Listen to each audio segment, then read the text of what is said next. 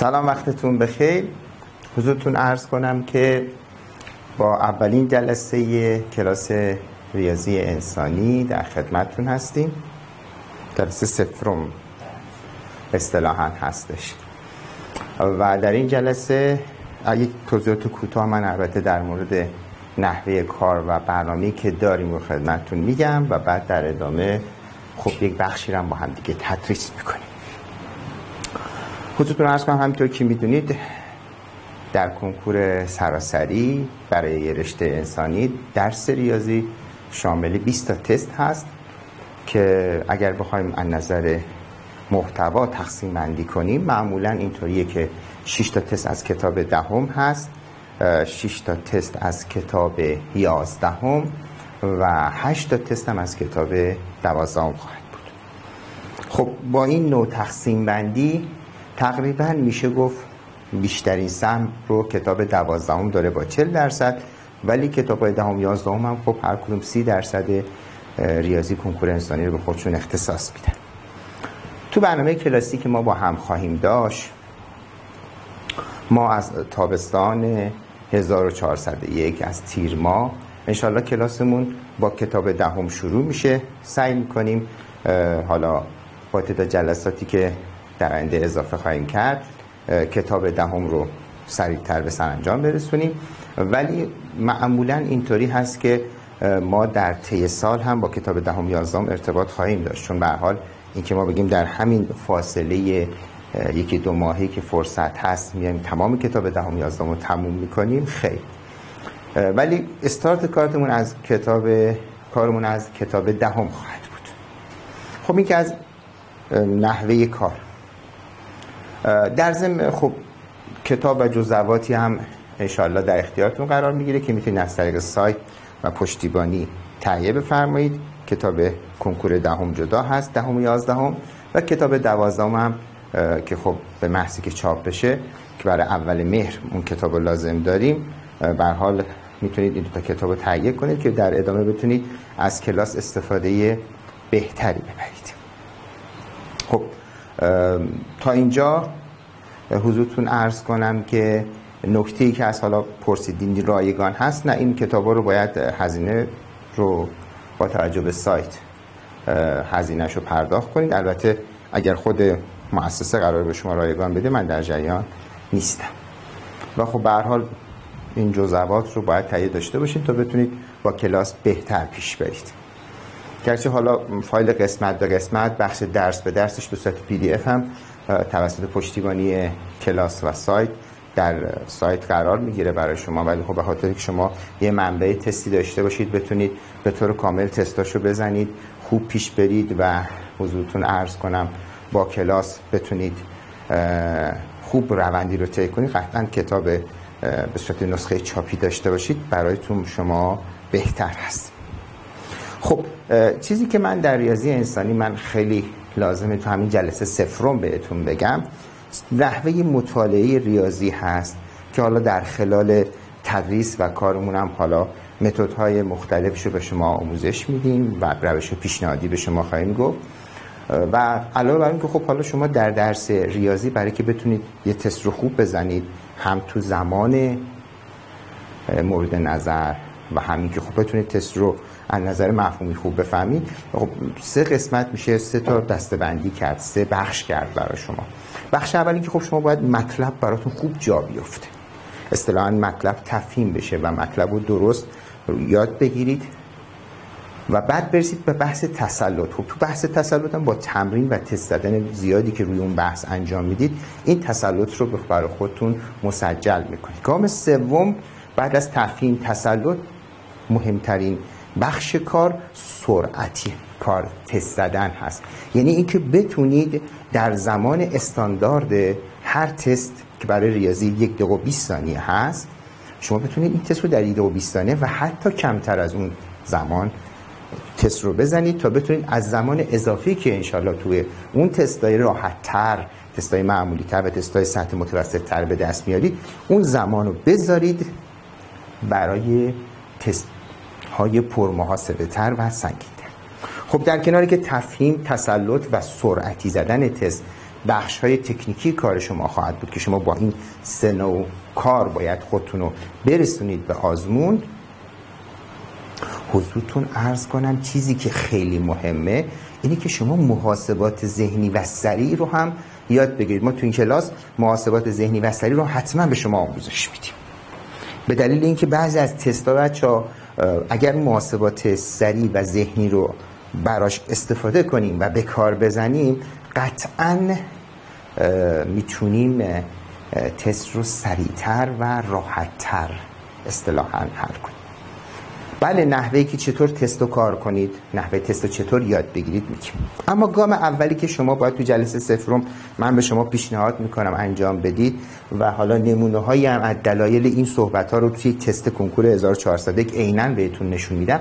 اینی که بچه ها ببینید شما باید مطالب ریاضی کتاب های هفتم، هشتم و نهمتون رو بدونید.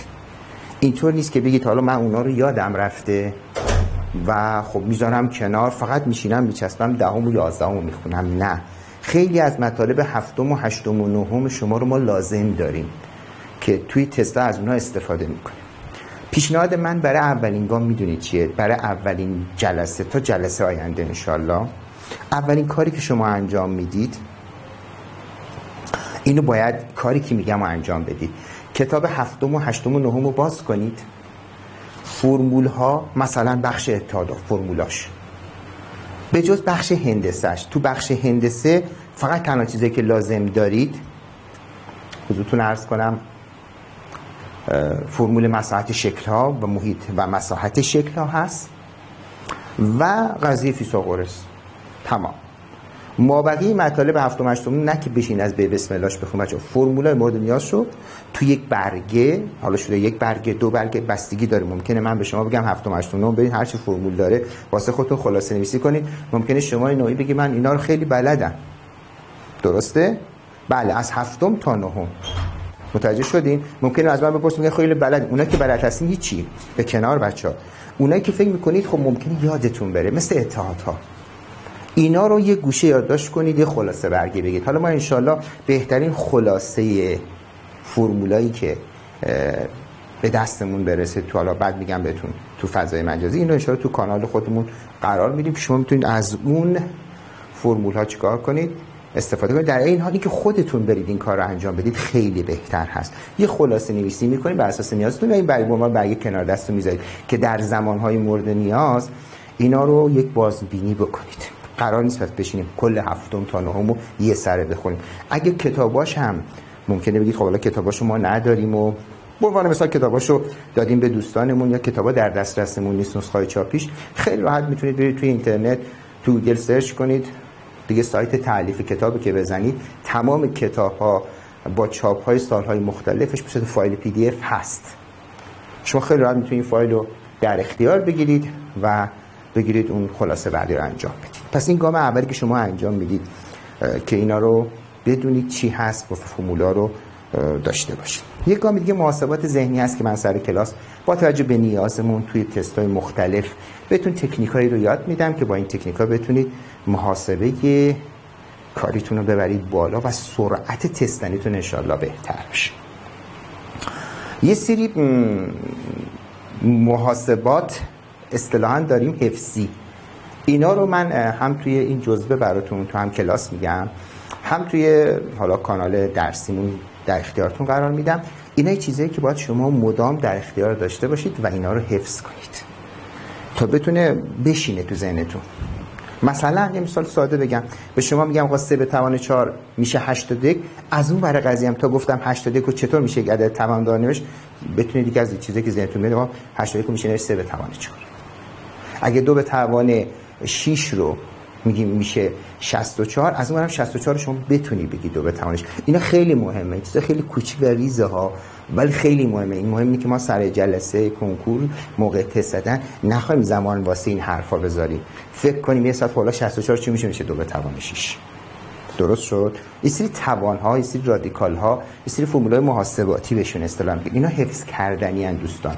اینا رو من به شما آموزش میدم. اینا رو براتون میدم. اینا شما باید تو برنامهتون انجام بشه. خب این کل داستان هست. توی فضای مجازی ما ارتباطمون یک فضای کشوری هست بچه ها یک ارتباطی مربوط به کانال هست و گروه های هست گروه هست که تو اینجا ما یه قسمت رفع اشکال کاریمونه. یعنی شما سوالاتتون رو تو, ف... تو زمان های مختلف تو اون گروه مطرح می‌کنیم و شما ما پا شما پاسخ میدیم. یک کانال هم هست که محتواهای آموزشی رو بدیم حالا ممکنه که در این سایت در این کلاس های با کلاس آنلاین اصلا این بحث رو خود سایت پشتیبانی کنن. یعنی خودشون تمام محتوا رو برای شما بذارم اصلا نیازی شما به کانال ارتباطی نداشته باشید که اینا حالا من با توجه به شرایط موجود بهتون اطلاع رسانی می‌کنم. تا اینجای کار من به شما یک نمای کلی از کار رو گفتم.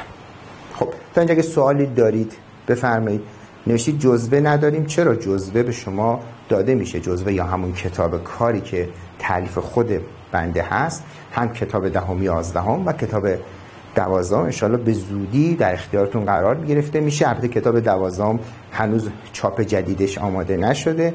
ولی خب الانم لازمم نداریم کتاب دوازدهم شما خریداری کنید ولی کتاب دهم یازدهم رو به محضی که ویرایش 1401 انشالله کامل بشه در 1402 انشالله این به محضی که برسه می‌تونید شما اینو استفاده کنید. و حالا من این جزوه هم که الان اینجا فایلش رو دارم فایل جزوه سال 1400 و 1400 هست که یه فایل سال گذشته است.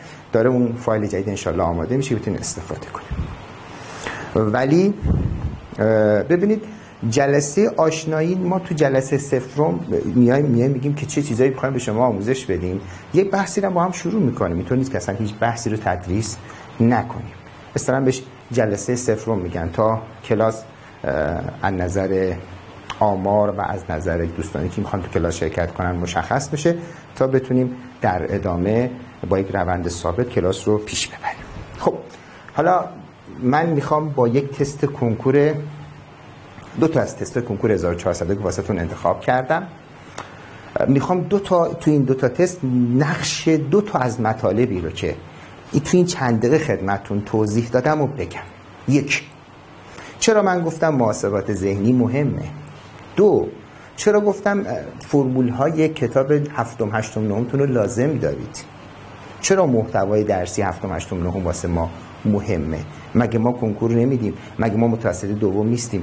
بین تو دو تا تست سال 1401 که یک تستش دقیقا مبحثی که می‌خوایم درسش رو شروع کنیم و به شما آموزش بدیم و یه دونم تست هست که دقیقا تو این تست محاسبات و نقش محاسبات ذهنی برای شما آموزش داده میشه. آماده هستیم. بریم سراغ بحث حضورتون عرض کنم. تست کنکور 1401 خارج داخل کشور. خب.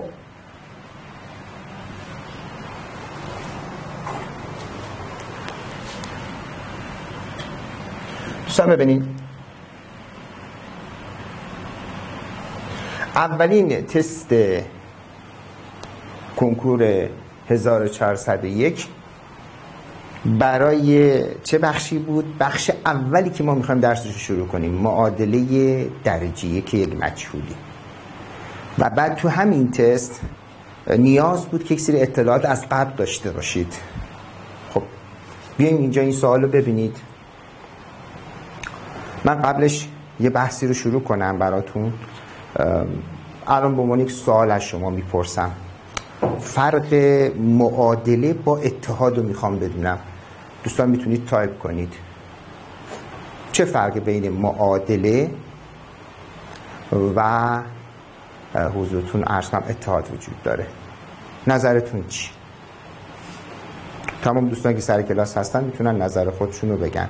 چه فرقی بین معادله و اتحاد وجود داره؟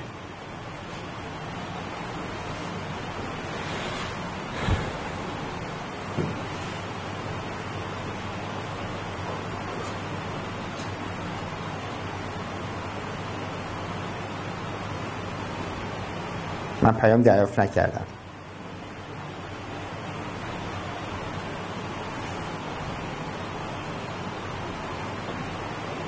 چه فرقی بین معادله و اتحاد وجود داره؟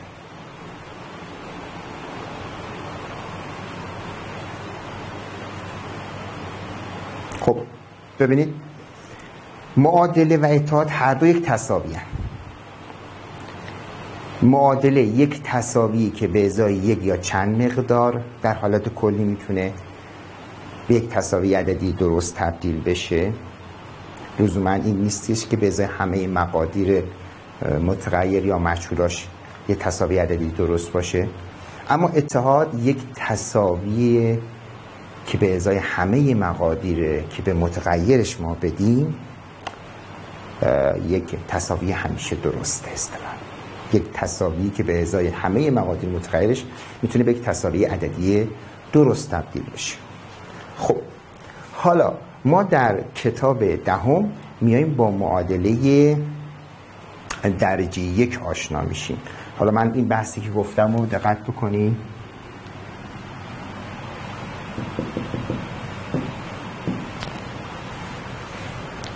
الان این مثالی که نوشتم ببینید این تساوی 6 به اضافه یک مساوی با هفت. درسته؟ این یک تساویه فقط اگه به x2 بدید این تساوی به یک تساوی عددی درست تبدیل میشه. پس این از نظر ما یک معادل است. اما نگاه بکنید این تساوی x به اضافه یک در x منهای یک.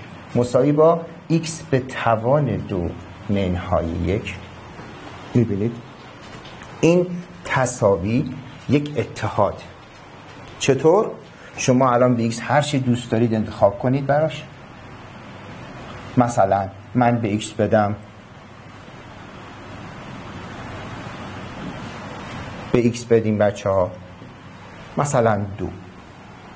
خب سمت چپ اگه به جای x دو بذارید دو یک سه. دو منهای یک یک سه یکی ست. این سمت چپ. سمت راست ببینید اگر به x بدید دو دو به توان دو چهار منهای یک میشه سه. سمت چپ با راست برابر شد. حالا به x عدد دیگه ای بدید. مثلا به x بدید صفر. بازم همین اتفاق میفته یعنی سمت چپ با راست برابر میشه دوستان. پس اینه که میگیم معادله یک تصاوی عددی که به ازای در حالت کلی یک یا چند مقدار می‌تونه به یک تصاوی عددی درست تبدیل بشه. اما اتحاد یک تصاویه که به ازای همه مقادیر متغیر می‌تونه یک تصاوی عددی درست باشه. ما در ادامه در کلاس بچه هر جا اتحاد لازم باشه استفاده می‌کنیم. ولی که ما بیایم تدریس اتحاد رو بکنیم نه. چون دیگه اتحاد تو بخش کتاب درسی دوم نیست ولی هر جا لازم باشه از اتحاد و خواستش خواهیم گفت. خب حالا این تفاوت معادله و اتحاد رو گفتم. بریم همین تست کنکور سراسری 1401 رو با هم حل کنیم. آماده هستیم ببینید. میگه در شکل زیر مساحت چی؟ مربع. ببینید دوستان ساده ترین اطلاعات هفتم هشتم نهم شما رو می‌خواد. مساحت مربع رو بدونید. مساحت مثلث فرمولش رو بدونید. مساحت زوزنقه رو فرمولش رو بدونید. درست شد؟ یعنی خیلی مطالب خیلی ساده از قبل رو لازم داره و استفاده می‌کنه. قطعا تو کتاب دهم ریاضی آمار ریاضی سال دهم رشته انسانی فرمول مساحت مربع و مثلث زوزنقه تدریس نشده. اینا ما رو قبله. پس شما به عنوان یک فرمول از قبل باید بدونید. خب بریم این مسئله رو حل کنیم با هم دیگه تو هم یک جلسه. ببینید چه اطلاعاتی تو این مسئله لازم بود شما بدونید. و اینکه خب من حالا چرا این مبحث رو انتخاب کردم؟ چون اولین مبحث هم که می‌خوام تدریس کنم براتون در ادامه همین معادله درجیه که یعنی از همین بخش اول یه تست کنکور اومده بچه خب. دقت بفرمایید. میگه که مساحت مربع در شکل زیر مساحت این مربع رو داده. نگاه بفرمایید. این مربع. از یه سوم مساحت مثلث به اندازه سه واحد مربع بیشتر مساحت زوزنقه رو بگیر. یکی از روش های حل معادله مسائلی که تو معادله مطرح میشه مسائل توصیفیه. یعنی یک توصیفی از یک معادله ارائه شده. شما باید اونو تبدیل به یک معادله کنید به صورت ریاضی و بعد اونو معادله رو حل کنید. خب ببینید دوستان من میشینم خط به خط اینو با هم هجا می‌کنیم. مساحت مربع. خب نگاه کنید طول زل رو داده دو. پس مساحت مربع چی بود فرمولش؟ یه زل ضرب در خودش دیگه. خب دو دو تا چهار پس مساحت مربع اینجا چهار. اینجا که گفته از ببینید کلمه از تو سوالات توصیفی مربوط به معادله نقش تصاوی رو داره. میگه از یک سوم مساحت پس معلوم میشه یک سمت تصاوی معادلتون باید مساحت مربع بذارید که میشه چهار. مساوی رو می‌ذارید می‌ذارم من می‌ذارم سمت راست. سمت چپ چه اتفاق میفته گفته یک سوم یک سوم می‌ذارم. مساحت مثلث. خب مساحت مثلث رو باید بلد باشیم. میشه یه دوم قاعده ضرب در ارتفاع. به این مثلث نگاه بکنید. مثلث مثلث قائم الزاویه است دوستان. درست شد؟ مثلث مثلث قائم الزاویه است. خب من می‌تونم این زلش رو مثلا قاعده بگیرم چون نمی‌دونم طول این زل چقدر مثلا می‌گیرم. X. ارتفاعشو همین دو طول زل مربع بگیرم. خب یه سوم رو می یک دوم چرا یک دوم گذاشتم؟ بود یک دوم مساحت قاعده یک دوم قاعده ضرب در ارتفاع. یک دوم به جای قاعده x می‌ذارم و به جای ارتفاع دو می‌ذارم. خب یک سوم مساحت مثلث پس میشه یک سوم پرانتز یک دوم x ضرب در دو. گفته به اندازه سه واحد بیشتر از مساحت هست. یعنی اگه مساحت مربع رو شما با مساحت مثلث بسنجین یه سوم مساحت مثلث رو حساب کن بهش چند واحد؟ سه واحد اضافه کن میشه مساحت مربع. خب تا اینجا طریقه ساخت خود معادله واسه شما اوکیه؟ همه قشنگ متوجه شدید که معادله رو من چطور ساختم؟ یه پیامی بدید ببینیم چه وضعیه.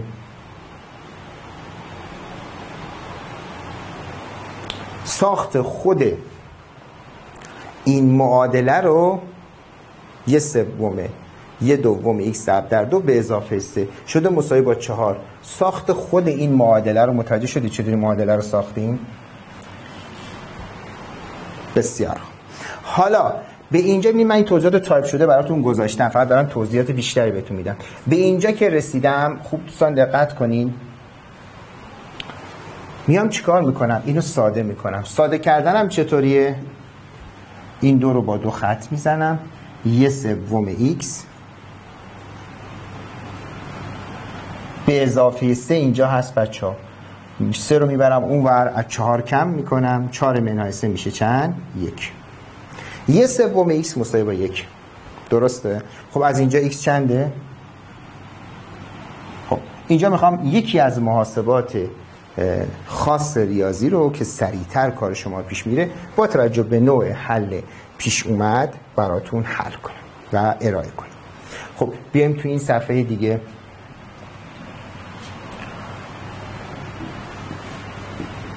دوستان ببینیم ما گفتیم که یه بار دیگه بنویسم براتون. یه سوم x شد یک. خب ببینید برای به دست آوردن ببینید یک سوم x مساوی با یک چی شده؟ نه قرار نیست. خب شما الان تو تفهیم مسئله است هستین بچه ها. اگر تفهیم خود مسئله براتون وقت می‌بره الان چیز نگران کننده نیست چون این اولین تستی که داریم برخورد می‌کنین باید با نحوه تستا آشنا بشین. و بعد خب اینو با سرعت حل کنید. اینطور نیست که شما در نگاه اول بگید من هم جوابو میگم. داریم تستای البته در این حد. ولی فکر کردن رو مسئله توصیفی یکی از قالب‌های مسائل معادله است. یعنی شما قشنگ متوجه بشید اون گفته مساحت مربع چیه. سریع این مطلب رو بنویسید. حالا رسیدید به اینجا می‌خوای سریع رو حساب کنی من سه روش به یاد میدم. روش اول چیه؟ روش اول خب اینو گفتیم عدد معلوم تقسیم بر ضریب مجهول. نکن اینا همه اطلاعات دوستان کجاست؟ بعضی از این مسائل اطلاعات قبلی هست. خب من بخوام یک رو تقسیم کنم بر یک سوم. خب ببینید می‌تونم به یک یک مخرج بدم بعد میسم یک تقسیم بر یک سوم بعد دور در دور نزدیک در نزدیک کنم جواب میشه چند؟ سه. اما این راحت تر از این به قول ما شما ما دوست داریم که اینجا سوال سریعتر حل بشه. خب سریعتر حلش می‌کنیم. گام دوم ببین. به جای اینکه بگی یک و بر یک سوم تقسیم می‌کنم عدد معلوم تقسیم بر ضریب مجهول کاری نداره. یک و عدد معلوم در معکوس ضریب مجهول ضرب کن. خب یک و در معکوس یک سوم معکوس یک سوم چند میشه؟ میشه سه یکم میشه سه. ببینید راحت تر دست خب اما من از این دو تا روش راه ساده تری هم تو ذهنم هست به شما بگم. ببینید اینجا براتون میمیسم اگر یک تصاوی نسبت داری داشتید مثلا آ به اوم x مساوی با سی اوم. ببینید؟ و از اینجا گفتن x رو به دست بیارید. خب یه راه سریع می‌خوام به یاد بدم که چطور اینو سریع محاسبه کنیم ببین. اگر داشته باشیم مثال می‌زنم برات. مثلا دو سوم x مساوی شده با پنج چهارم. به شما میگن سریع x رو بگو. خب ببین چی کار می‌کنی؟ این سه رو در پنج ضرب می‌کنی دو رو در چهار ضرب می‌کنی. حالا x به دست میاد. میشه خط کسری. سه پنج تا پونزده تا دو چهار تا هشت تا. تمام جواب به دست اومد. کار سریعتر شد. همین محاسبات ذهنی خیلی ساده خودش هم چند ثانیه کار ما رو جلو بندازه خیلی عالی. خب پس الان برگردم. پس اون مسئله رو اگر می‌خواستم با این متد حل کنم یه سوم چی بود بچه ها؟ اینجا می‌نویسم براتون. یه سوم x مساوی با یک بود. ببینید چطوری حل می‌کنم؟ اینطوری میگم. میگم یک سوم x مساوی با یک بود. پس x چنده؟ اگه یک مخرج یک بهش بدین این سه در بالا زر میشه سه یکی سه تا این یک در پایین زر میشه یکی سه کم سه میشه. تمام.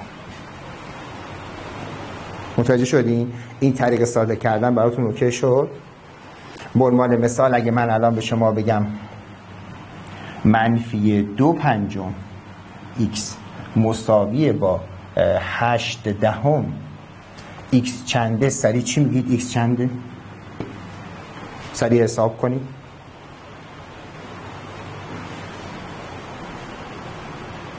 x میشه چند؟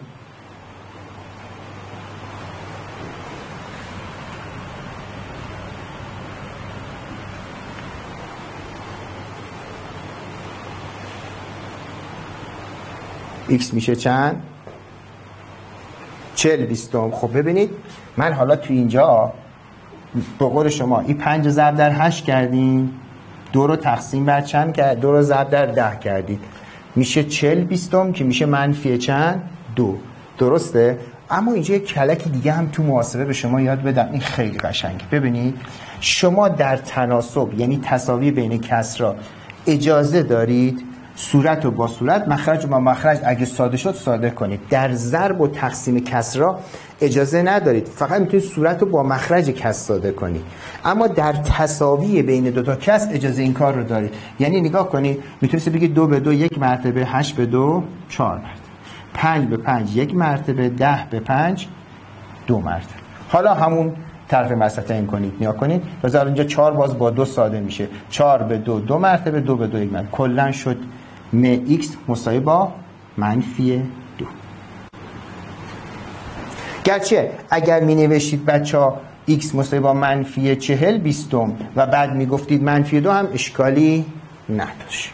خب حالا برگردیم تو اون تست کنکور سراسری. بیایم این تست رو سریع حلش کنیم. یک تست سریع از این قسمت. خب دوستان ببینید. من یک سری اطلاعات اول اینجا براتون پاک کنم. ببینید ما تا اینجا رسیدیم که x سه خب یکم سریع بخوایم مسئله رو با هم حل کنیم. خوب نگاه کنید من می‌خوام این مسئله رو سریع حلش کنم. بفرمایید. میایم اینجا. من اینو برم توی صفحه دیگه براتون کپی کنم که بتونیم حلش رو تمیزتر ارائه بدیم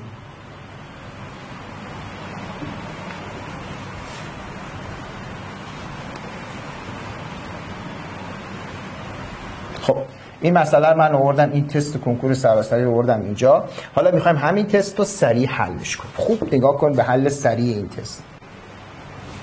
خب می قرار شد توی این تست جواب شما غلط نه نبود دیگه. چل بیستم منفی میشه منفی دو. درست شد؟ چل بیستم منفی شد منفی دو. خب تو این محاسبات ببینید اصلا اساس کار اگر می‌بینید کند هستیم تو تست زدن. تو محاسبات باید تمرین زیاد تو این زمینه انجام بدید مثلا این مثال من براشون حل کردم شما بتونید مثالای قوی تری تو این قسمت حل کنید. بیایم اینجا این سوال رو با هم سریع جمعش کنیم. میگه که پس الان تو این سوال شما چه چی چیزی من توضیح دادم؟ آقا من با فرمولای مساحت خوب بلد باشم. نداشته باشیم گیریم. خب بیایم اینجا ببینیم چطور شد. من اینجا گفته در این شکل مساحت مربع. قرار شد اگه از دیدم بذارم سری مساوی. خب مساحت مربع چیه؟ دو دو تا چارت. خب یک سوم مساحت مثلث. خب میسم یک سوم مساحت مثلث. این ضلع ایکس می‌گیرم سری. میشه یه دوم قاعده ضرب در ارتفاع دوی. گفته یک سوم مساحت بعد سه واحد بیشتره. مساحت مربع از یک سوم مساحت مثلث سه واحد بیشتره. اگه به من یک سوم مساحت مثلث سه واحد اضافه کنیم میشه چهار. بعد میریم سراغ این شد که این دو رو با دو خط زدیم شد یه سوم x به مساوی شد با سه از چهار کم شد. یک و از اینجا طبق روش تستی که سری بهتون یاد دادم میگید سه یکی سه تا. این مخرج یک بهش میدیم و یک یکی میگه سه گم x میشه سه. خب x رو به دست آوردید سه. حالا خود حل کردن این ور بچه ها دو روش داره. من هر دو روش رو میگم ولی روش دوم بیشتر میپسندم. روش یک خب من می‌خوام مساحت زوزنقه رو پیدا کنم. خب مساحت رو می‌دونید تو ریاضی با اس نشون میدیم. اول کلمه سورفیس یعنی سطح. خب مساحت زوزنقه رو باید جزء حفظیات کلاس هفتم هشتم نهم بلد باشیم. مساحت زوزنقه چی بود؟ یه دوم مجموع دو تا قاعده ضرب در ارتفاع. خب میشه یک دومه. مجموع دو تا قاعده. این قاعده بالا دوی قاعده پایین. یه دو داشته یه ایکس هم که سه بود پنجه. پس میشه یک دوم دوی به اضافه سه. ضرب در ارتفاع. نگاه کنید دوستان این ذوزنقه ذوزنقه قائم است. همین ضلعه می‌تونه ارتفاعش باشه که ضلع مربع هم هست. یعنی پس ارتفاع دوی. تمام. دو رو با دو خط می‌زنید. درست شد؟ یک دوم مجموع دو تا قاعده. البته من اینجا فقط یک نکته رو تو مجموع دو تا قاعده اضافه کنم. خب قاعده کوچیک دو بود قاعده پایین یه دو بود یه ایکس سه بود دو سه پنج بود که اینجا من سه نوشته بودم. ضرب در ارتفاع که همون دو بود. دو با دو خط می‌خوره. حالا دو و پنج چند میشه؟ میشه هفت پاسخ میشه گزینه چهار. خب این باید فرمول مساحت ذوزنقه رو بلد باشید. اما همینجا می‌تونید بدون فرمول مساحت ذوزنقه از اینجا به بعد چرک کنید. یعنی بعضی ایکس به درس آوردید بگید خب مساحت این شکله که می‌خواد زنقه کی گفته یه تیکه مربع است یه تیکه مثلثه. مساحت این دو تا مربع و مثلث رو با هم جمع کنید میشه مساحت زنقتون خب مساحت مربع دو دو تا چهار تا. مساحت مثلث هم یه دومه. قاعدش که سه به دست اومد. ضرب در ارتفاع که دوی دو با دو خط می‌خوره چهار به اضافه سه هفت میشه تمام. این میشه تست کنکور 1401 رشته انسانی که یک معادله توصیفی از معادله درجیک به ما دادن. خب. تو این سوال چی می‌خواستم به شما بگم؟ چرا اصلا این سوال حل کردم؟ به دلیلی که می‌خواستم تو این سال نشون بدم بچه ها اگر به شما میگم اون فرمولای قبلی رو لازم داریم واسه اینجا هست با سوال ساده رو از دست بدیم. فقط به خاطر اطلاعات قبلیمون ضعیف بوده یا یادمون رفته و حیف این تست از دست بره. درست شد. قطعا شما اگر بدونید بشینید همینجا. ده مدل از این تستای معادله توصیفی بزنید قطعا سرعتتون میره بالا و تسلطتون بیشتر میشه و تست بهتر می‌زنید. اصلا تو گام اول تست دادن بچه دنبال این نباشین که تست رو سریع بزنید. خیر. اتفاقا دنبال میشه این تست چطوری تر شده از چه فرمولی استفاده باید بشه اون فرمول چطور تو این تست به کار بزنیم و از چه محاسباتی باید استفاده کنید که به تست برسیم. بله ما در کلاس درسیمون قطعا اول درس میدیم. ولی من خواستم با یه تست کنکور به شما نشون بدم که چی؟ یه معادله درجیه که توصیفی به شما دادن. شما چه اطلاعاتی واقعا لازم دارید؟ اینجا توی این تست نشون دادم برای شما که شما قرار فرمولای قبل رو بدونید. درسته؟ حالا یه تست دیگه از سال 1400 انتخاب می‌کنم. که محاسبه ذهنی داره توش. این اگه دانش آموز محاسبه ذهنیشو درسته معادله درجه یک رو خوب بلد نیستید حتما تو این بخش ما به شما تدریس می‌کنیم. ولی چیزی که هست تو توصیف معادله و اینکه چرا من حالا اصرار کردم آقا این مساحت و این فرمولا رو بدونید شما باید خوب تو این مسائل حواستون باشه. همه چیز مطالبی که میگم رو و مواردی که میگم رو حتما الحاظ کنید تا بتونید انشاءالله در ادامه کلاس رو خوب پیش ببریم با هم دیگه. و شما هم پیشرفت کنید. خب من قرار نبود بچه ها تو این جلسه بشینم یک به بسم الله درس بدم. فقط خواستم از یک نکته استفاده کنم.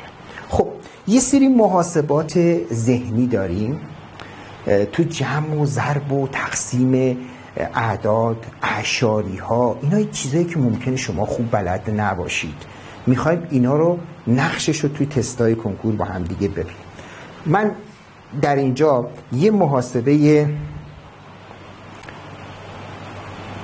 خب سوال پرسیده شده آیا از معادله درجه یک تو کنکور 1402 میاد؟ ببینید تو کنکور 1398 تا کنکور 1401 از معادله درجه یک تست مستقیمی مثل این تست نیومده بود. امسال از معادله درجه یک معادله توصیفیش اومد. اما یه مدل دیگهش هست از معادله درجه یک. که تو این چهار ساله نیومده. اون مدل هم ما به شما تدریس می‌کنیم. شانس اومدن اون مدل از این مدل توصیفی که الان با هم حل کردیم بیشتر. ولی مثلا بهتون بگم معادله درجه دو صد درصد جز معادلات چیه؟ جز معادلاتی که هر سال تو کنکور میاد. بله ما هم معادله درجه یک رو درس میدیم. هم معادله درجه دو رو درس میدیم هم معادلات کسری گویا رو درس میدیم. اصلا کلا فصل اول درسمون که شاید نزدیک 4 5 جلسه بیشترم باشه فقط بحث معادل است درست شد؟ پس من فقط خواستم تو تست شماره یک به شما این نکته رو بگم. حواست باشه تمام مباحث هفتم هشتم نهم سریع فرمولای مورد نیاز رو چک کن یه گوشه بنویس که اینا هی بتونی توی توی ادامه تو تست ریاضی تو مباحث ریاضی اینا رو برای خود جلو چشت داشته باشی حفظ داشته باشی تسلط داشته باشی تا بدونی در ادامه تستا رو به موقع بزنی. وگرنه واقعا اگر این مطالب شما تسلط کلی باید بشینید فکر کنید. این همون مطلبی که شما تایپ کردید برای من. کلی باید بشینید فکر کنید تست حل کنید. زمان از دست می‌دید. درسته؟ خب من یه تستی دیگه برات انتخاب کردم. تستی که می‌خوام انتخاب کنم براتون و بعد مبحث رو با هم یه تستی از از مباحث حضورتون عرض کنم.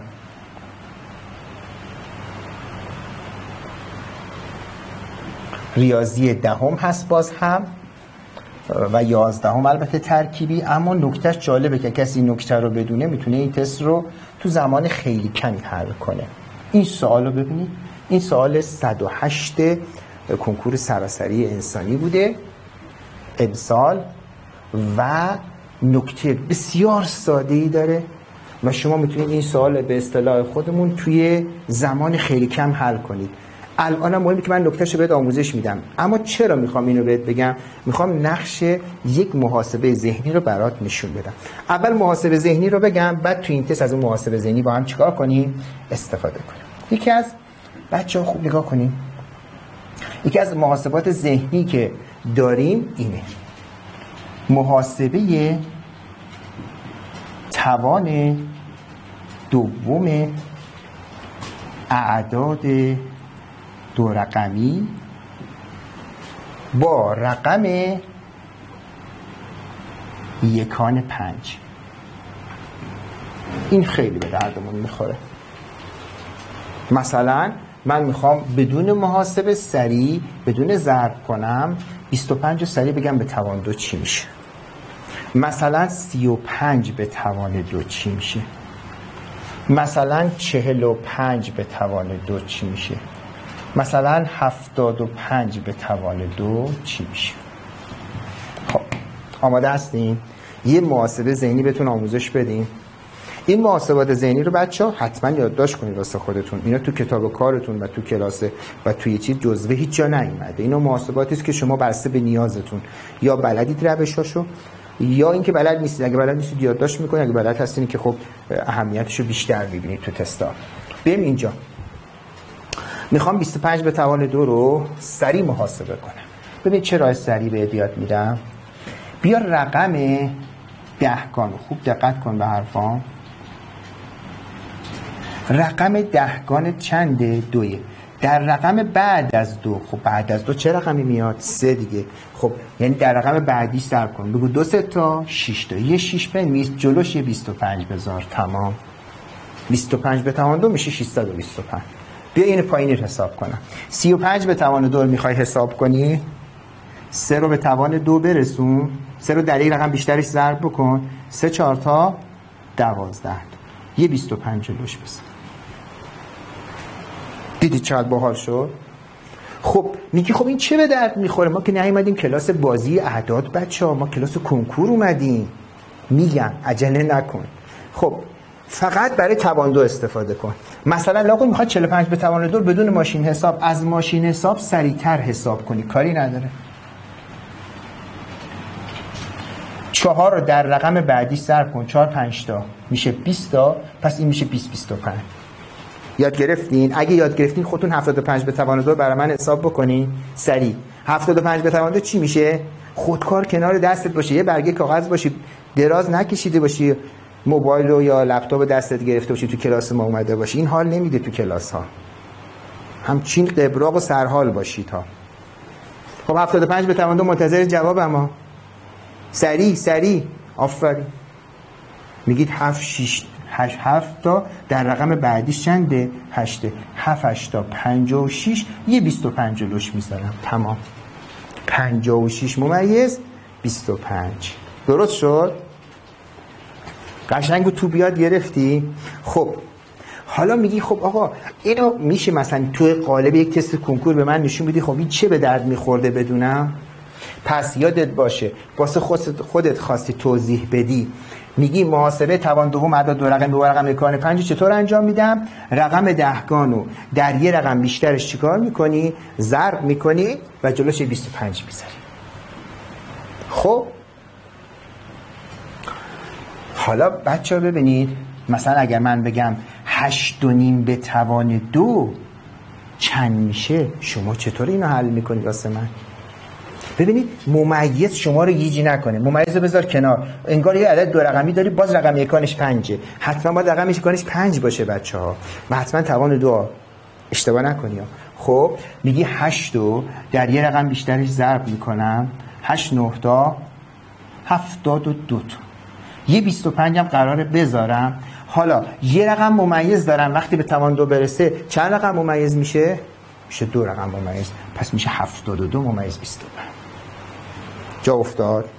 پس هشت و نیم به توان دو یه جا رسیدیم. میشه هفتاد و دو ممیز 25 صد. خب می‌دونید چرا این محاسبات رو میگن؟ یه جایی که خیلی این محاسبات قشنگ جواب میده یه بخشی دارید تو ریاضی به نام بخش آمار خب؟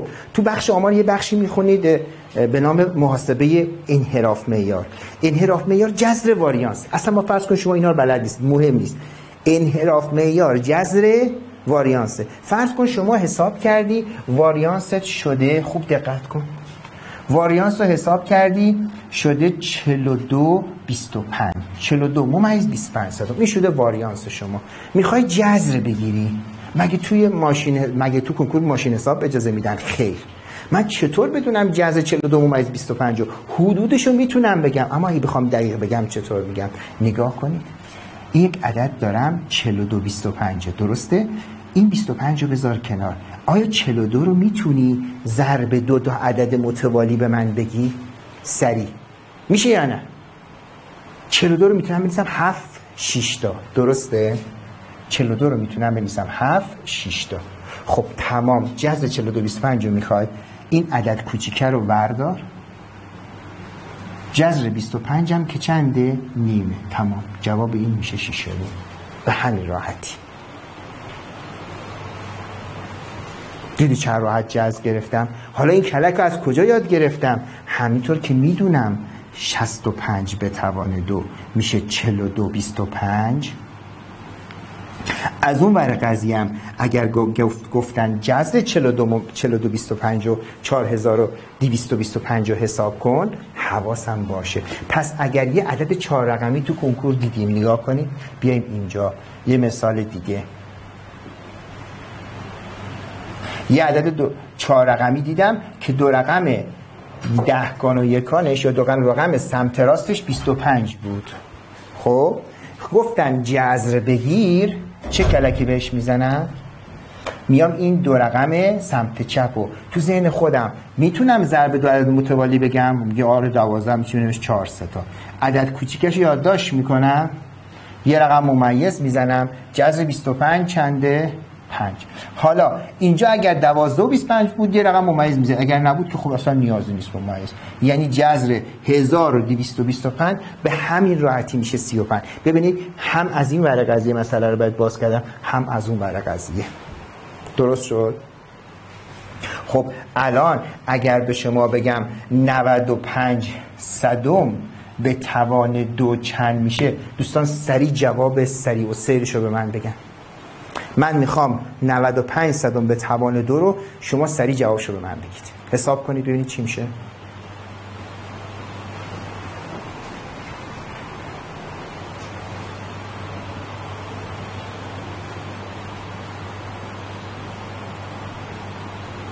تن شد. 95 صدم به توان دو. منتظر جواب شمایی. اول به اشار نگاه نکنید تا. من صبرم زیاده. 95 صدم به توان دو چی میشه بچه زود باشید. گفتم صبرم زیاده نگفتم دیگه معطل کنید.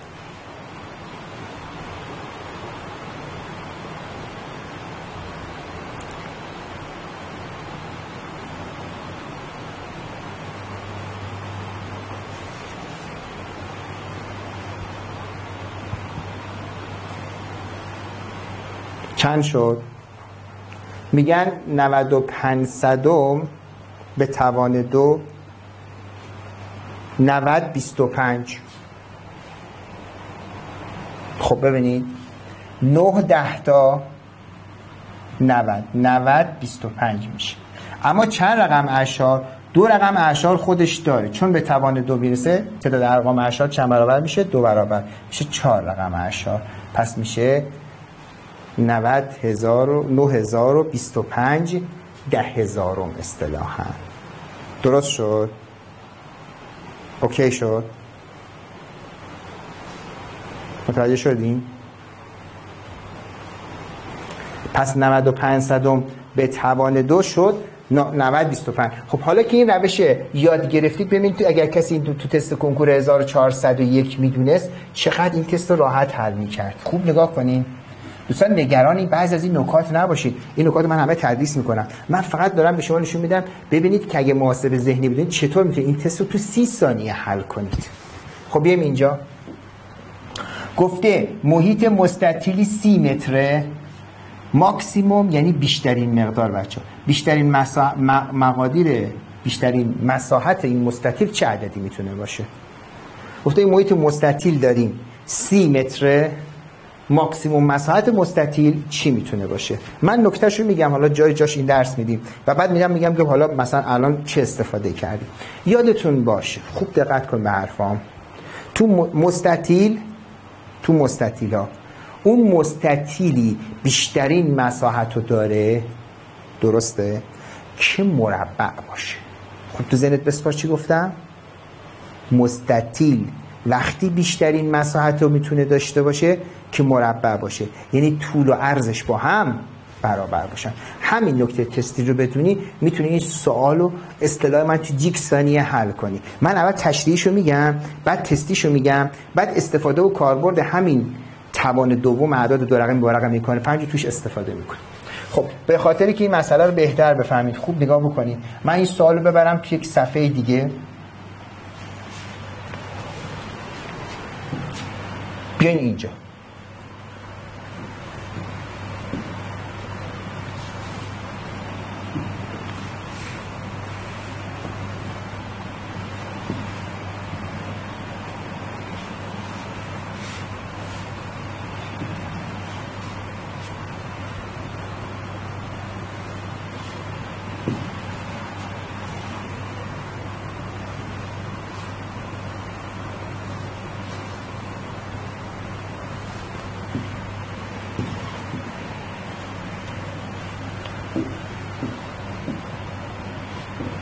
خوب دقت بکنین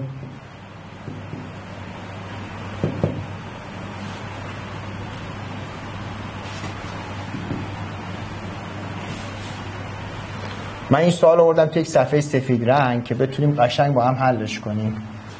خب خوب نگاه کنیم. الان چی گفتم؟ گفته محیط مستطیل سی متره. نکته تستی درس چی بود؟ مستطیل وقتی بیشترین مساحت داره که مربع باشه. خب محیط کنید باز اگه شما فرموله 789 بلد نباشید. محیط مستطیل چی بود؟ دو برابر مجموع طول به اضافه عرض میشه محیط. اصلا محیط میشه دور شکل. درسته؟ خب پس من الان اینجا یک مستطیل اگر داشته باشم خوب نگاه بکن. این مستطیل به شرطی بیشترین مساحت داره که طولش با ارزش برابر باشه. خب محیط سی متره یعنی دو برابر طول به اضافه ارز سی متره. می‌تونید این دو رو با سی ساده کنید. چرا؟ چون بینشون ضربه. اگه دو برابر طول به اضافه ارز سیه یعنی خود مجموع طول به اضافه ارز چند بوده؟ 15 بوده. از طرفی ما گفتیم مساحت مستطیل بچه ها. خب وقتی ماکسیموم میشه که طول با عرض برابر باشه یعنی x با y برابر باشه. خب خودتون بگین جمع دو تا طول و عرض 15 است. اگه قرار باشه طول با عرض برابر باشه یعنی طول و عرض هر کدوم چندن؟ اگر جمع طول و عرض 15 باشه و قرار باشه که طول و عرض با هم برابر باشن طول و عرض باید هر کدوم هفت و نیم باشن. چرا؟ هفت و نیم این هفت و نیم این. یعنی 15 رو نصف می‌کنم هفت و نیم به این میدم هفت و نیم به این میدم. پس x مساوی با y مساوی با چند؟ هفت و نیم میشه. خب بریم بیشترین مساحت رو پیدا کنیم. خب بیشترین مساحت وقتی رخ, رخ میده که طول و عرض و نیم باشن. خب مساحت مستطیل چیه؟ طول ضرب در عرضه. یعنی چی؟ یعنی هفت و نیم ضرب در هفت و نیم. که همون هفت و نیم به توان دوه. حالا نگاه کنید اون نکته تستی که اون موقع بهتون گفتیم. هفت و نیم به توان دو. سری بگید میشه چند؟ هفت هشتا پنج و شیش 25 دو رقم احشار می‌خوره. 56 ممیز 25 ببینید چقدر تست و باقل لواز زدید. بفرمایید. اوکی. الان واقعا شما اطلاعات خاصی لازم داشتید واسه این تست؟ با دو تا نکته تستی خیلی تا ساده. تست کنکور 1400 زدید و 5 درصد بچه گرفتید. هر می‌دونید دیگه در رشته انسانی چون 20 تا تست دارید هر تستی میشه 5 درصد. حالا ارزش کار رو دیدید که چرا من اصرار داشتم شما محاسبه ذهنی بلد باشین؟ اوکی. حالا اگه آماده این می‌خوام واسه این سال یه روش جیکسانی بگم. یعنی شما همون اول به قول معروف این سوال رو سریعتر از این حرفا حل کنید به جای که دو خط بنویسید توی نیم خط حلش کنید آماده این؟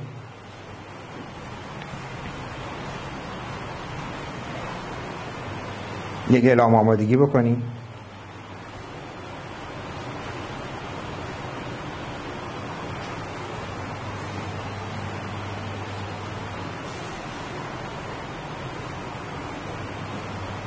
آماده این بسیار بیایم اینجا بچه ها این سوال من ردش کنم. سوال چی بود؟ همطور که شما سوالو دیدین این سوال ما بود.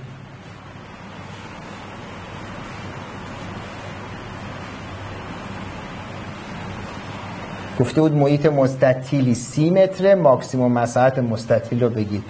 هر وقت بچه ها محیط مستطیل رو به شما بدن بیشترین مساحت مستطیل رو خواستن این کلک رو بهش بزنید. زحمت بکشید. خوب نگاه کنید به حرفایی که میگم. محیط مستطیل رو دادن مساحت بیشترین مساحت مستطیل رو خواستن. این عدد محیط رو تقسیم بر چهار کنید. سی تقسیم بر چهار میشه هفت و نیم. چطوری فهمیدم؟ سی چهارم.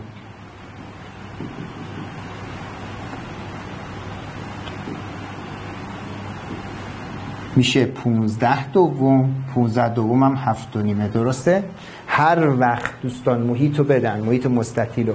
گفتن ماکسیموم مساحت رو بگو محیط رو تقسیم بر چهار کن. سی چهارم هفت و نیم. هر چه به دست اومد در خودش ضرب کن. هفت و نیم در خودش ضرب کنیم میشه هفت و نیم به توان دو میشه پنج و شیش بیست و پنج. تمام. اینم توی کمترین زمان ممکن.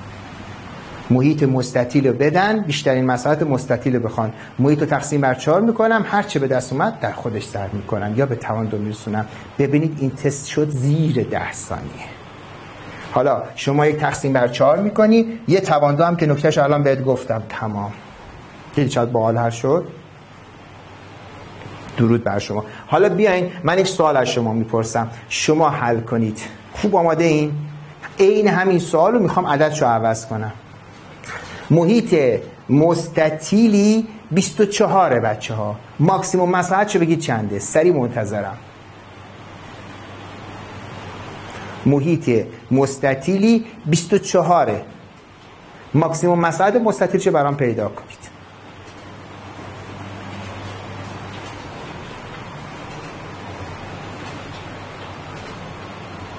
چی شد؟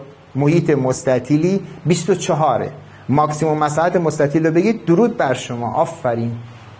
آقا 24 تقسیم بر 4 می‌کنم 6 6 ضرب در خودش می‌کنم 6 6 تا 36 تمام. اوکی. قشنگ متوجه شدین دیگه؟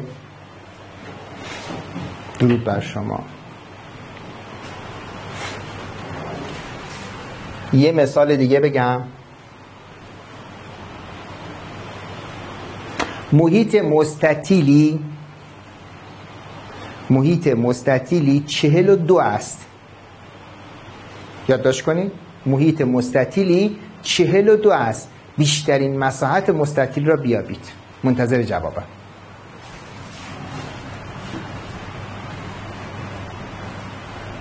محیط مستطیلی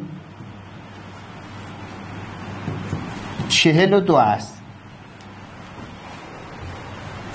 بیشترین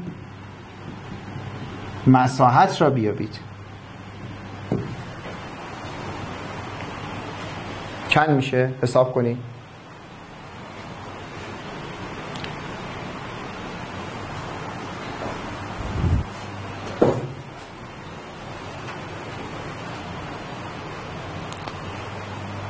بیشترین مساحت چقدره؟ خب ببینیم درست گفتید یا نه. ببینید چهل و دو رو. تقسیم بر چهار می‌کنم خب چهل و دو تقسیم بر دو میشه 21 چهار تقسیم بر دو میشه دو 21 دوم هم میشه ده و نیم. دوستان درسته؟ ده و نیم رو به توان دو باید برسونم. خب ده رو در یک رقم بیشترش ضرب می‌کنم. ده ضرب در یازده میشه میشه صد و ده. یه 25 هم جلوش می‌ذارم. دو رقم اعشار می‌خوره میشه 110 ممیز 25 همطور که شما حل کردید. ببینید چند راحت این مسائل حل شد. من دو تا تست برات حل کردم. ادعای صحبت هامو تو این دو تا تست بهت نشون دادم که چرا باید این کارهایی که میگم و این محاسبات میگم و یاد بگیرید. خب. تا اینجا اوکی هستیم؟ ما قرار نیست دیگه تیکه تیکه درس بدیم. قرار مبحثی رو که شروع کردیم و با همدیگه با یک محاسبات ذهنی دیگه پیش ببریم و بعد دیگه درس معادله رو کارش رو با همدیگه آغاز کنیم که میشه جلسه سفروم ما. خب من می‌خوام یه محاسبه ذهنی دیگه بهت یاد بدم. حالا محاسبات ذهنی رو من حتما بچه ها تو برنامه کاریمون داریم که به شما همینطور کم کم آموزش بدیم. مخصوصا ضرب و تقسیم اشیا اعداد اشاری رو که می‌دونم توش خیلی گیر هستید و معمولا اینا رو خیلی کند حل می‌کنید. خب یه محاسبه ذهنی دیگه به یاد بدم. محاسبه ضرب اعداد. حالا دیگه چند رقمیش اینجا مهم نیست.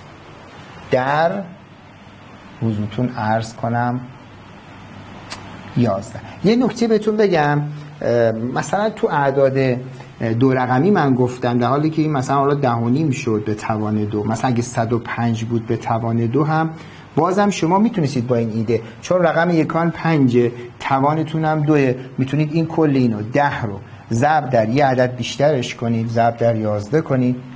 که میشه 110 یه 25 جلوش بذارید برای عدد سه هم می‌تونید از این نکته استفاده کنید. ولی خب خیلی کار راحت نیست. مثلا بهت بگم به شما بگه 235 به توان دو رو حساب کن. شما می‌تونید این 23 رو بیای در رقم بعدیش که 24 ضرب کنی. ولی مهم اینه که خود این 23 ضرب در 24 دیگه راحت نیست. وگرنه می‌تونید 23 رو ضرب در 24 کنید جوابشو بنویسید جلوش 25 بذارید بنابراین چون این مسئله مسائل بچا در حالت سه رقمی اینا. دیگه کار راحتی نیست. به همین خاطر ما اونجا فقط برای عدد چند رقمی گفتیم. دو رقمی آموزش دادیم. بیایم اینجا. خوب دقت کن. می‌خوام محاسبه ضرب اعداد تو 11 هم بهت یاد بدم.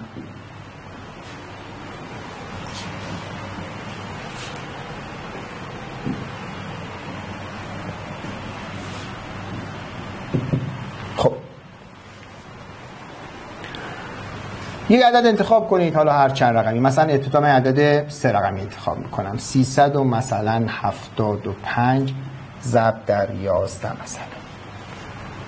234 ضرب در 11 می‌خوام مثلا این دو تا عدد رو خیلی سریع ضرب کنم. ببین چه ایده به یاد میدم که اعداد چند رقمی رو چطور سریع در 11 ضرب کنیم و خب تو تستا ازش استفاده کنیم خوب نگاه کن. من برای که 375 ضرب در 11 کنم ترفند کار اینه. از راست به چپ پچه شروع می‌کنیم خب. از راست به چپ یعنی چی؟ ابتدا رقم یکان رو یادداشت کن. هر چه از خودشو بنویس. پنج میمیسی پنج.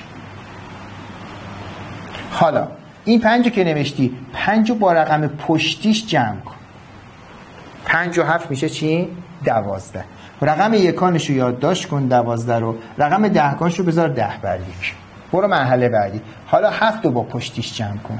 هفت با سه میشه ده. یه رقم هم رقم ده بر یکت بوده.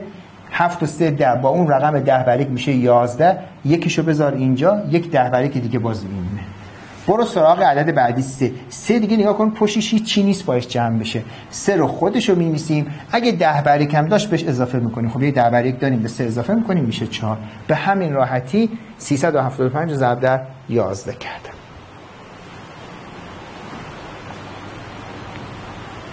درست شد؟ ببین بعدی. 234 رو می‌خوایم ضرب در 11 کنیم.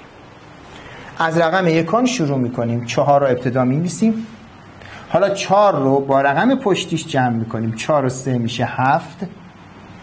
خب حالا سه رو با رقم پشتیش جمع می‌کنیم. سه و دو میشه پنج. و میمونه دو. دو دیگه رقم پشتی وجود نداره. خودش یادداشت می‌کنیم. تمام. درست شد؟ این دوتا مثال رو یه مثال دیگه هم براتون حل کنم یا همین رو توضیح بدم. ببینید باید چیکار کنید؟ باید از رقم سمت راست شروع کنید. ابتدا رقم سمت راست رو بنویسید بعد هر رقمی با رقم پشتیش جمع کنید. بذارید مثال دیگه بگم بهتر متوجه بشید. مثلا نگاه کنید 2000 و مثلا 29 29 ضرب در 11 رو بگم. می‌خوایم سریع ضرب کنیم. نگاه کنید رقم یکان رو یادداشت می‌کنید. 9 حالا این رقم رو با رقم پشتیش جمع می‌کنید. 9 و 2 11 اگه ده بر یک داشت به مرحله بعدی. خب 11 یکشو میسم ده بر یک شو نگه میدارم میرم سراغ دو. دو دیگه پشتش رقمی وجود نداره باش جمع کنم. خودشو میمیسم با این یک میشه سه. میشه 319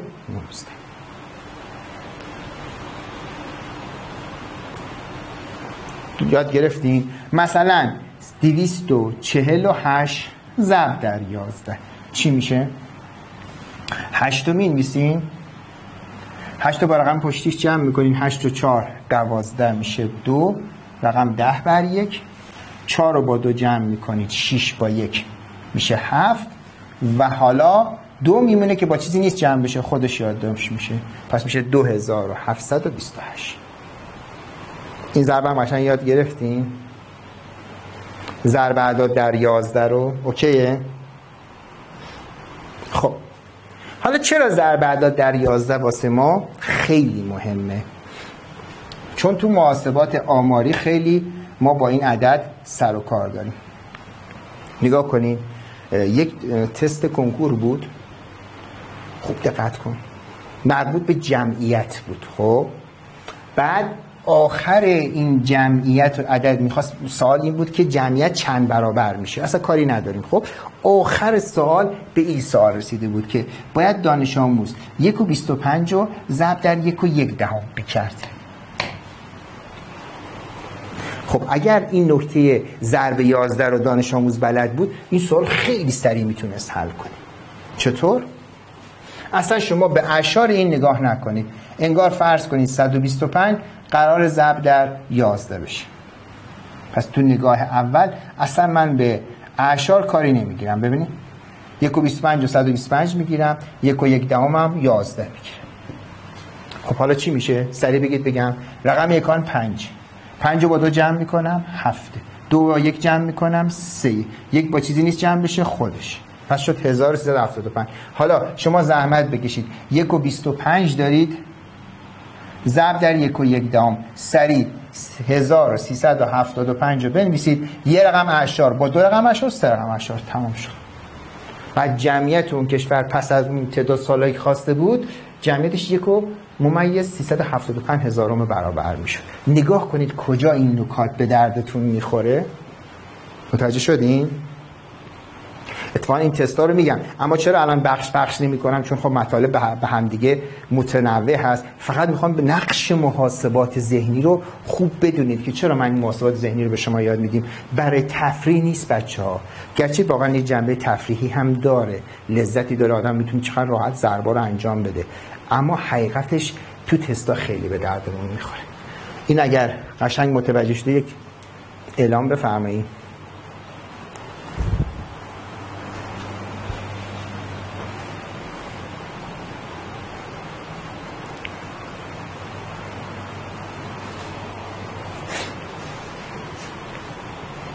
خب اگر اگر من به شما بگم شما یک و یک دهم رو ضرب در یک ممیز یک دهم جوابش چی میشه؟ شما چی میگید جوابش چی میشه بچه ها یک و یک دهم ضرب در یک و یک دهم.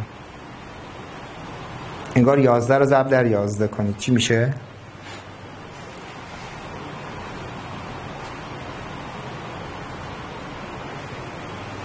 آفرین. یک ممیز 21 میشه. چطور؟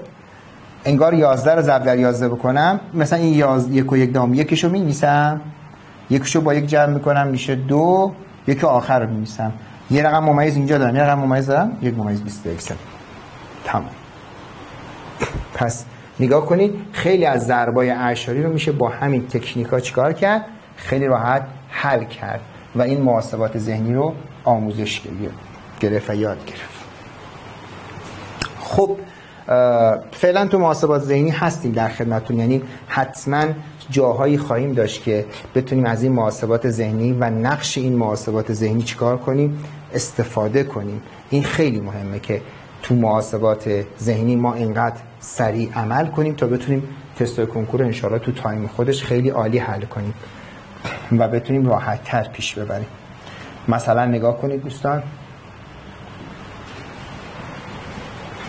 می‌رسیم به یک معادله درجه یک.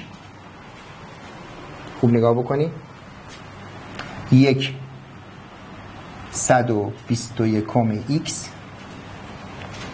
مساوی شده با یازده دوم.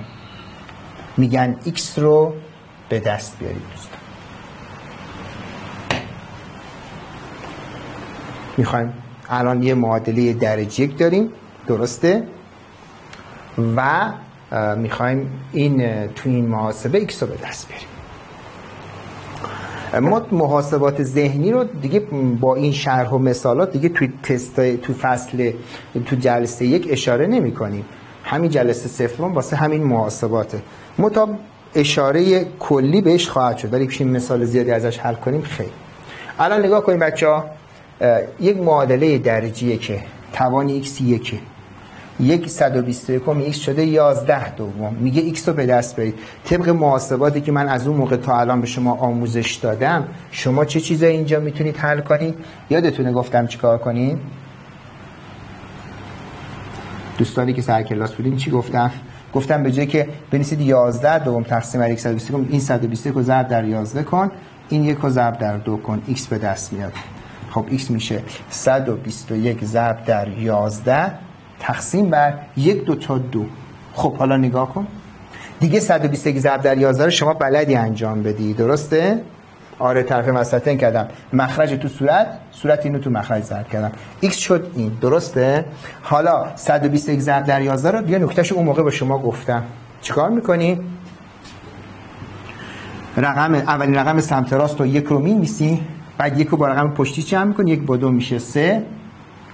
حالا دو رو با پشتی جمع می‌کنی میشه سه. یک دیگه چیزی پشت نیست جمع بشه. خب تمام. پس 121 ضرب در 3331 دوم و تمام.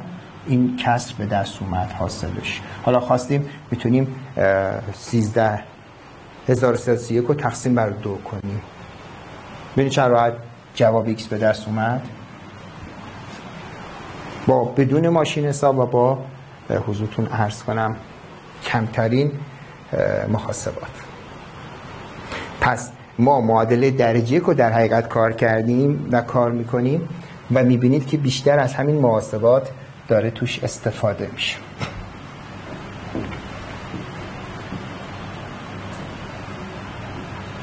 خب بریم با هم دیگه یه بخشی از معادله درجه که من خدمتون تدریس کنم.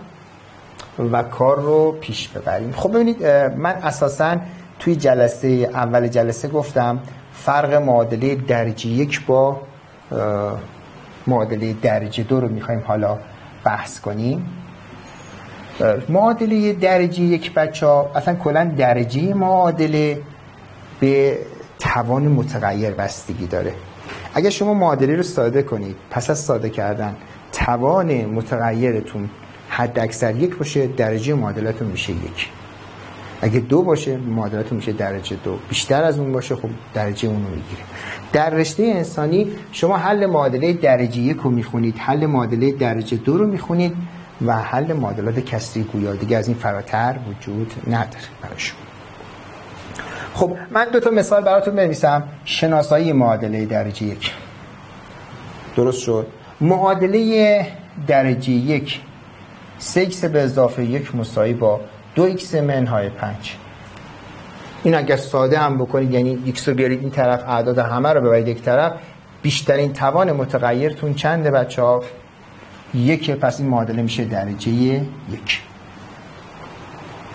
اما این معادله چطور بچه ها؟ X2 منهای 3x به اضافه یک مساویه با 2x به اضافه x2 به اضافه 2 به نظرتون الان درجه این معادله چنده؟ معادله درجه یک هست درجه دو هست چی هستش؟ معادله درجه چنده؟ همه جواب بدین. معادله درجه چنده؟ درجه یک بچه ها. چرا؟ به جمله من گوش کردین چی گفتم؟ گفتم اگه خواستید درجه یک معادله رو به دست بیارید. ابتدا معادله رو تا حد امکان چیکار کنید؟ ساده کنید. ابتدا معادله رو چیکار کنید؟ ساده کنید. بیشترین توان متغیر میشه درجه معادلتون. خب الان نگاه کنید دوستان. x2 با x2 خط می‌خوره. حالا درجه معادله چند شد؟ درجه یک میباسم پس این معادله درجه چنده؟ یکه پس گول نخوریم. تا بیشترین توان دو بود بگیم معادله درجه دوه. نه معادله رو ساده کنید. اگر ساده کردید بیشترین توان متغیرتون میشه درجه معادلتون خب این که از شناسایی معادله درجه یک دوستان. بریم سراغ حضورتون عرض کنم. ما خود تیپ معادله درجه. معادله درجه یک. خب ببینید دوستان که تو معادله درجه که اشکال داریم. 3 مثلا به علاوه دو مساوی با صفر. شکل کلیش اینطوریه. یه جمله حاوی x داره یه عدد ثابت داره حالا یه طرفش صفر. برای حل معادله درجه یک داستان اینه که جمله مجهول رو نگه میدارن عدد ثابت رو می‌برن. اونور میشه منفی دو در انتقال از یه سمت به سمت علامت عوض میشه و بعد در نهایت میگیم خب x مساوی است با عدد معلوم تقسیم بر ضریب مجهول. خب میشه منفی دو سوم. این میشه جواب معادلت اما من می‌خوام به شما بگم شما می‌تونید من بعد اینطوری حل نکنید. همینجا جواب خودتون حدس بزنید. نکنید اگه ما همه معادله یه سمت بود همه جملات بعد از ثابت یه سمت بود. سمت راستتون صفر بود. می‌تونید به جایی که عدد معلوم رو بیارید یک طرف بعد عدد معلوم بر ضریب مجهول تقسیم کنید همینجا این کار رو انجام بدید. یعنی چطور؟ یعنی اینجا همینجا بگید x جواب معادله مساوی با عدد معلوم عدد ثابت رو بر ضریب مجهول تقسیم کنید. دو تقسیم بر سه میشه دو سوم. حاصل هرچی به دست اومد قرینه کنید. منفی دو سوم. تمام. به عنوان مثال نگاه کنید به شما میگه معادله مثلا منفی دو ایکس منهای به علاوه پنج مساوی با صفر رو حل کن. سری جواب چی میشه؟ به جایی که عدد معلوم بیارید یک طرف عدد معلوم بر ضریب همینجا تقسیم کنید. یعنی عدد ثابت پنج تقسیم بر منهای دو کنید قرینه کنید. خب میشه منهای پنج دوم قرینش میشه مثبت پنج دوم. تمام. متوجه شدین؟ این کار باعث میشه دیگه نخواین یه طرف ببریم مگر اینکه مسئله معادله شما به هر حال مجبور باشید به حل این معادله. یعنی چیکار کنید؟ مجبور باشید که به حضورتون عرض کنم که همه رو مرتب کنید. مثلا اینطور معادله بدم منفی دو ایکس به اضافه سه مساوی با یک منهای چهار ایکس. بگن ایکس رو به دست بیارید. خب اینجا دیگه مجبورید. همه رو می‌تونید بیارید. یه طرف بعد این کار رو بکنید منفی 4 ایکس میاد این میشه مثبت 4 ایکس. با منهای دو ایکس میشه دو ایکس. یک میاد این ور میشه منفی یک با سه میشه مثبت دو مساوی با صفر. حالا سری جوابو بگید عدد ثابت تقسیم بر ضریب مجهول قرینه کنید دو دوم یک میشه قرینش میشه منفی یک. تمام. پس می‌تونید معادلات رو به این سبک هم حل کنید. تا اینجا سوالی هست نکته ای باشه که قابل فهم براتون نباشه.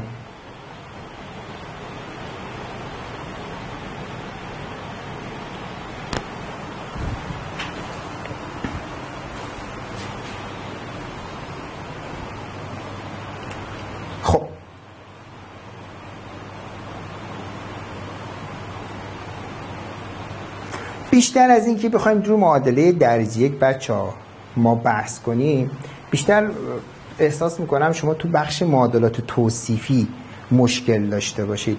یعنی یک معادله توصیفی رو نتونید اون توصیف درستش رو تبدیل به یک معادله کنید و حل کنید. سعی می‌کنیم از این قسمت ها بیشتر مثال با هم حل کنیم. آماده هستیم؟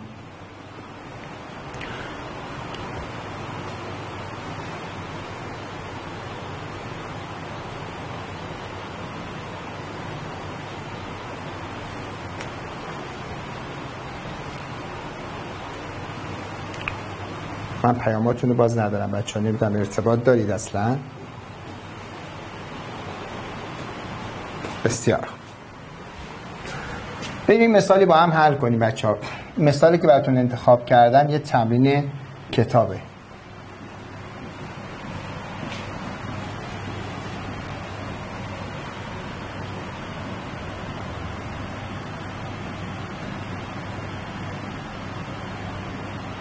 این سوال رو می‌خوایم با هم حل کنیم.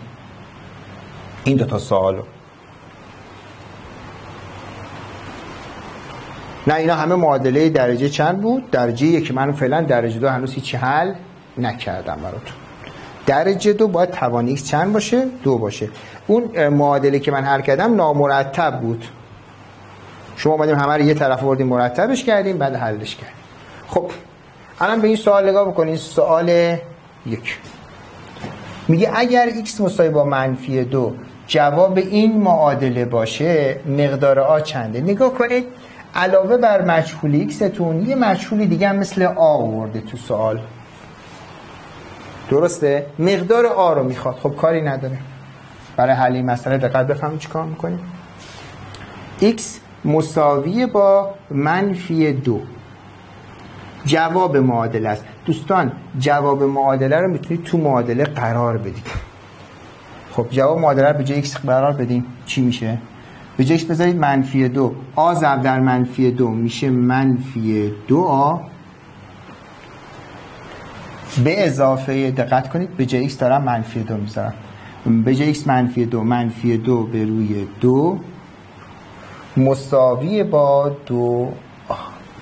یعنی معادلتون از حالت مجهول x خارج شد به مجهول a تبدیل شد.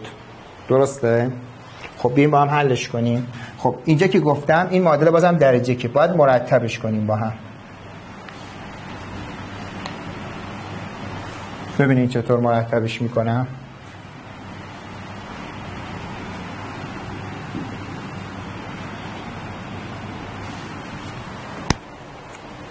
این دعا سمت راست میاد سمت چپ.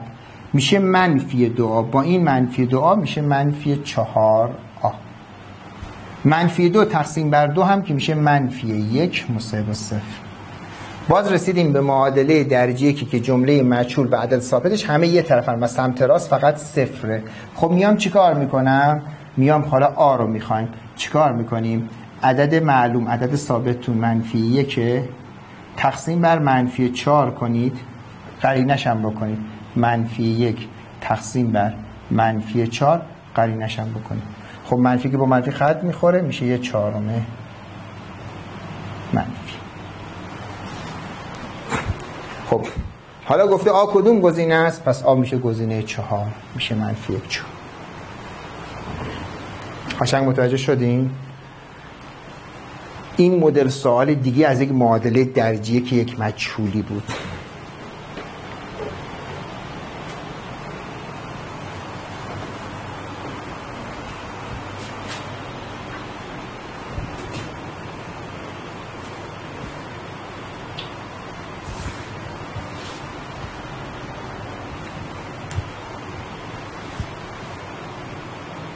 خب من منتظر پیام شما تو این مورد.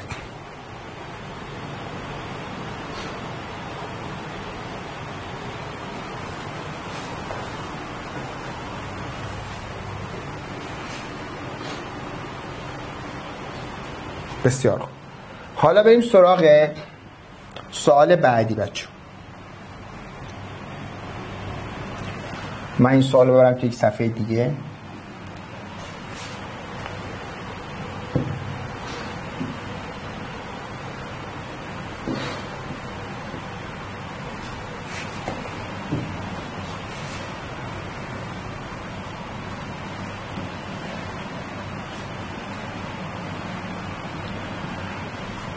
خب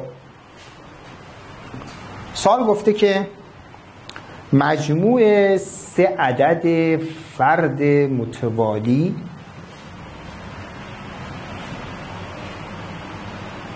صد و پنج.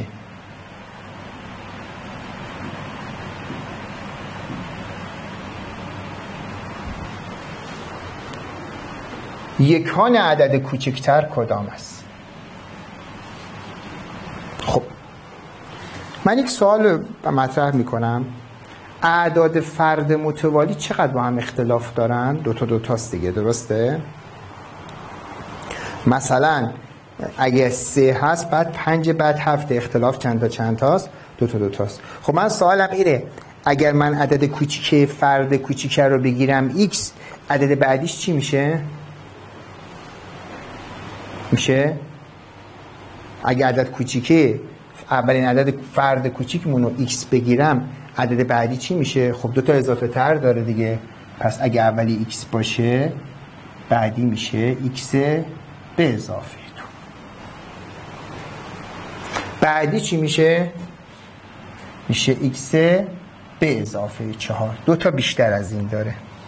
متوجه شدین؟ من عدد فرد سه عدد فرد متوالی جمعشون شده 105 میام عدد فرد اولی رو می‌گیرم x. بعدیش چی میشه؟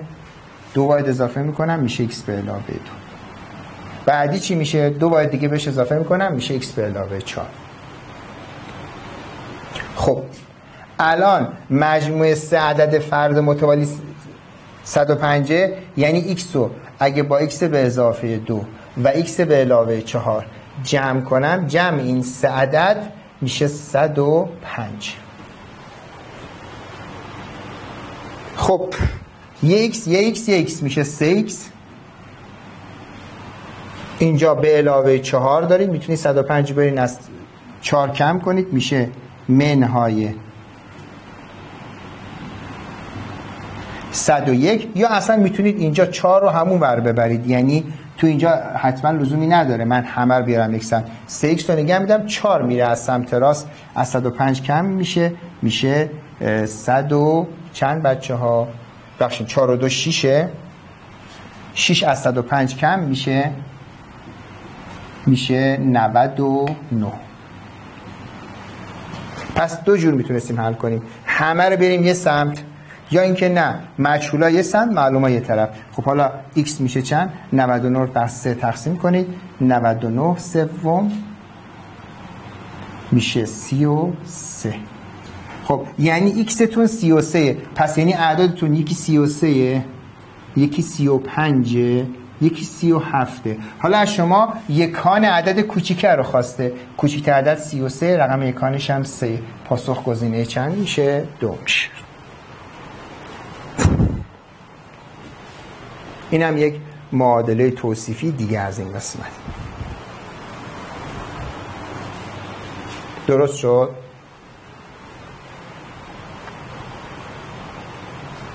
خب بچه ها ببینید من همین سوال رو می‌خوام یکم سریعتر و راحتتر حلش کنم. و دلیلش هم بهتون بگم. اینو یادداشت بفرمایید یا عکس می‌خواین ازش عکس بگیرید یا حالا بعد می‌تونید این داشته باشید من می‌خوام همین سوال رو خیلی راحت تر حل کنم. ببینید تفس... الان زمان فکر کردن به سواله که ما بتونیم قالب های مختلف یک سوال رو روش قشنگ فکر کنیم. بیاین اینجا نگاه کنیم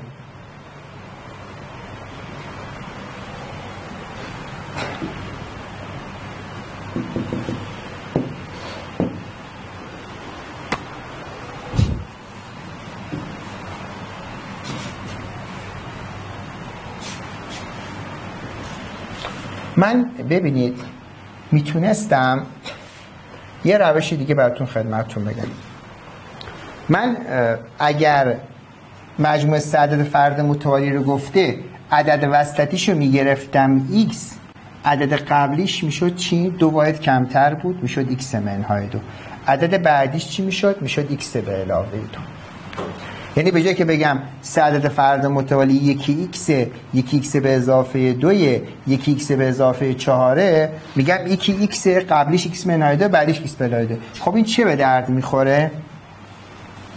این سه تا عدد رو با هم جمع کنید. x منهای دو x و x به دو جمع کنید. x و x و x میشه 3x منهای دو با دو هم میشه 0 3x مجموع این سه تا عدد. چند 105 پس x میشه 105 تقسیم بر چند؟ 3 که 105 تقسیم بر 3 میشه 35 یعنی عدد وسطی 35 دو تا کم کنم میشه 33 دو تا بهش اضافه کنم میشه 37 خب این تکنیک چه به درد می‌خوره؟ خوب دقت کنید. اصلا من نیاز به این همه حل نمی‌بینم.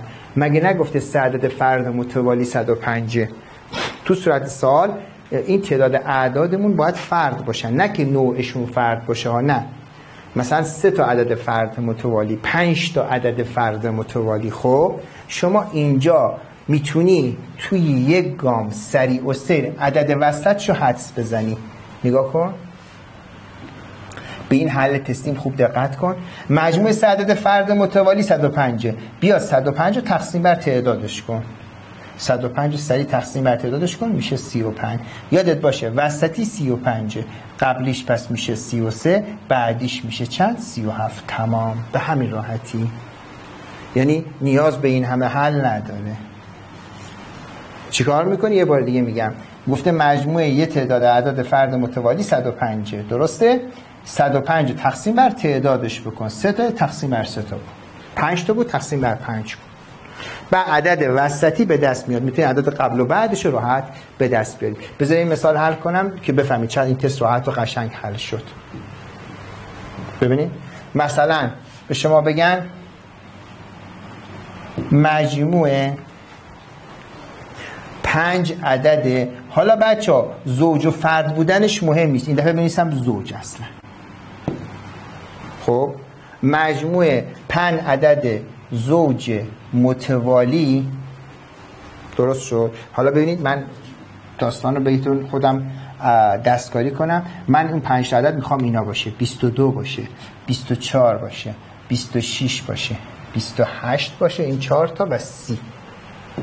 می‌خوام این اعداد باشه. خب اصلا خودم صورت سوال دارم برات می‌سازم.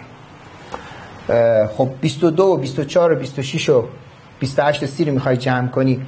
می‌تونی یک روش جمع کردن راحت به یاد بدم. ده گاناشو جدا جمع کن یک گاناشو جدا. سه و دو پنج پنج و دو هفت هفت و دو نو نه و دو یازده. خب یه صفر جلوش بذار چون ده کانال رو جمع کردی. یعنی 11 جلوش میشه 110 یک صفر جلو. حالا یک کانال رو جمع کن. صفر و 8 8 8 و 6 14 14 و 4 18 18 و 2 20 خب پس میشه 20 تا بهش اضافه کن میشه 130 درست شد؟ مجموع 5 عدد زوج متوالی 130 است. درسته؟ آن 5 عدد رو بیابیم. یا اصلا عدد کوچکترین عدد چه عددی؟ اصلا غیر از اینه؟ کوچکترین عدد چه عددی؟ مجموع 5 عدد زوج متوالی 130 کوچکترین عدد رو می‌خواد خب طبق نکته تستی که به یاد دادم چی بود؟ بعد یادت باشه. تعداد باید فرد باشه ها. پنج عدد زوج متوالی 130 درسته؟ کوچیکترین عدد رو می‌خواد. چی میشه؟ میای. 130 رو درسته؟ 130 رو تقسیم بر چند می‌کنی؟ تعدادش پنج می‌کنی. حالا باز ببینید نکته تو نکته شد بچه ها من چطوری 130 رو تقسیم بر پنج کنم؟ یه راه خفن به یاد بدم. می‌خوای 130 رو به پنج تقسیم کنی؟ هر عددی خواستی به پنج تقسیم کنی اون عدد رو دو برابر کنی یه رقم ممیز بزن. 130 دو برابرش میشه 260 یه رقم ممیز بزن میشه 26 تمام.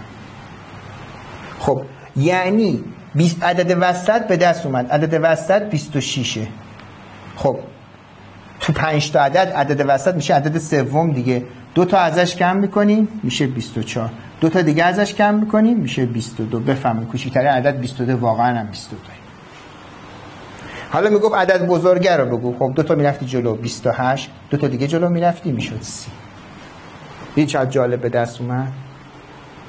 مجموع پنج عدد زوج متوالی 130 بود. نکته تستیش چی بود؟ نکتهش این بود که این تعداد باید فرد باشه. خب فردم از 5 تاست.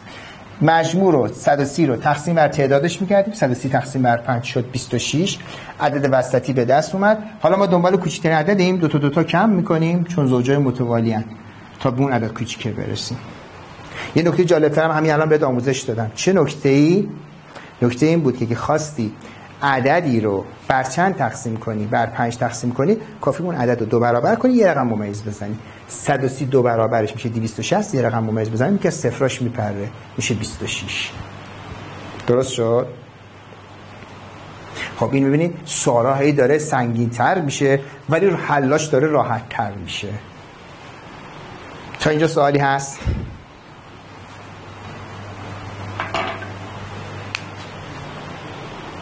سوالی نداریم؟ بسیار خوب. این بود جلسه سفرم ما بچه ها امیدوارم از کلاس امروز استفاده کرده باشین و مفید واسهتون واقع شده باشه ببینیمتون هفته بعد و جلسات بعد چی سوالی پرسیدین؟ خب ببینید زوجای متوالی دیگه زوجا هم با هم اختلافشون دوتا دوتا است درست شد؟ فرقی نمی‌کنه. من گفتم اگه بگه پنج عدد زوج ما یا بگه فرد فرد متوالی فرق نمی‌کنه فرد و زوجش. شما عدد وسط رو می‌تونی به دست بیاری.